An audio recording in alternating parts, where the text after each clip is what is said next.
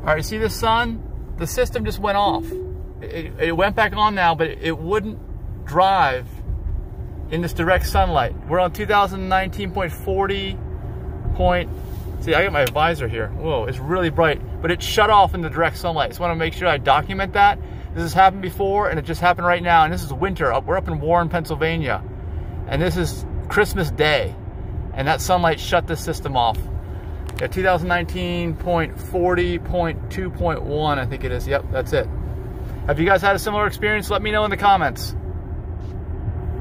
It's bad if you're not paying attention and that thing shuts off like that. How are they going to solve this in the future? Let me know your thoughts. All right, it just did it again. The whole system shut off. It won't even go on. You can see the sun just over the horizon. It wasn't even that strong. And it shut off on me. Just because of the direct sunlight into the, into the autopilot system.